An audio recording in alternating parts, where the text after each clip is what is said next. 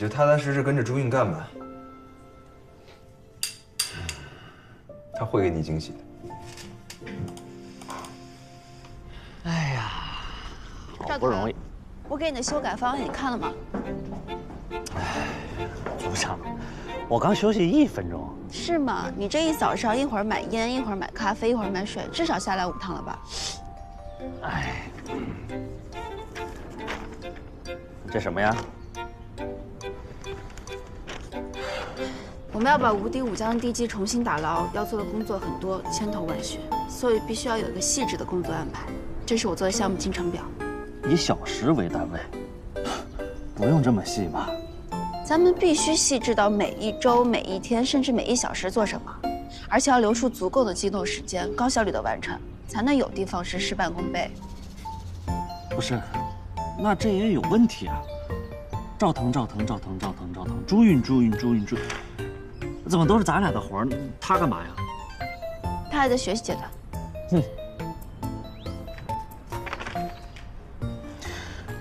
以我以往的经验来看啊，像计划这种东西啊，它都是拿来被打破的。那你试试。试试就试试。公平一点，投票吧。好啊，民主集中。我同意。我反对。同意。二比一通过，今天下午开始实行。民主集中嘛，又不是我做的。不是，你就典型站着说话不腰疼。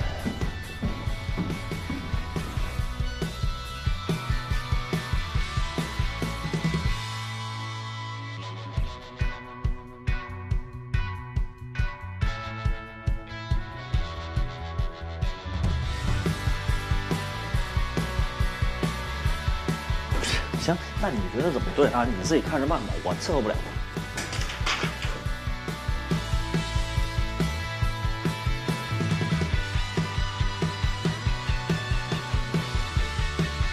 是不是这样好多了？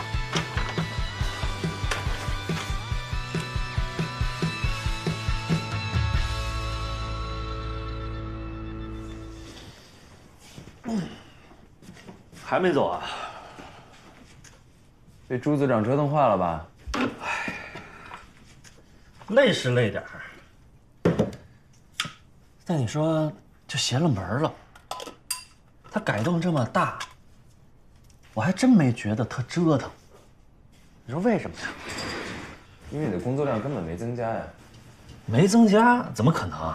其实朱毅没有刻意少给你安排工作，该分配的任务一项没少，但你依然觉得干起来很轻松。知道为什么吗？为什么呀？因为他知道每一周、每一天，甚至每一个小时应该做什么。他搭好大体框架，这样主干就不会偏，之后再一点点添加细节。你跟朱韵到底认识多久了？他就一直这么厉害吗？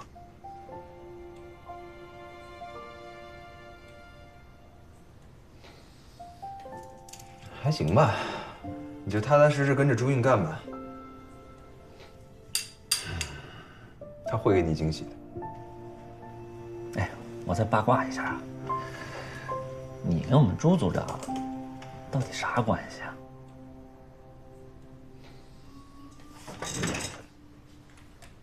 没关系。没关系，没关系。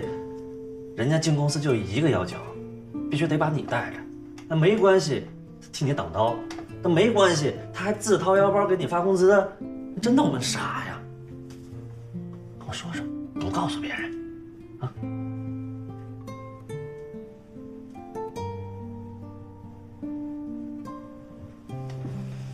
因为我长得帅，行吗？